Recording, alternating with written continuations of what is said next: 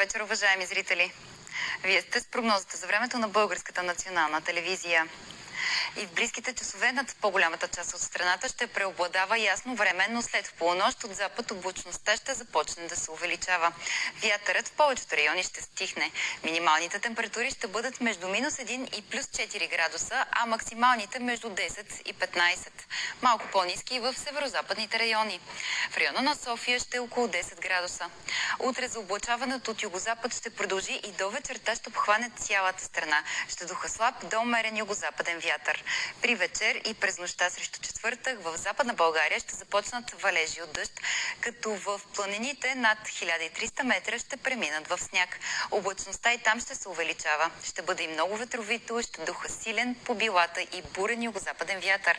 Максималните температури в курортите от 0 градуса на Леко, около 3-4 в Боровец и Пампорово и до 7 в Банско.